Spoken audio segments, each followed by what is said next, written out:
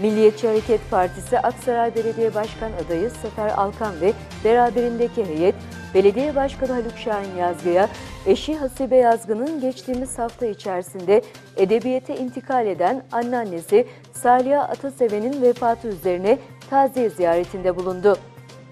Belediye Başkan adayı Sefer Alkan ziyarette hanımefendi Hasibe Yazgı'nın anneannesinin vefatını üzüntüyle karşıladıklarını ifade ederek Başkan Yazgı nezdinde Hasibe Yazgı ve ailesine sabırlar diledi.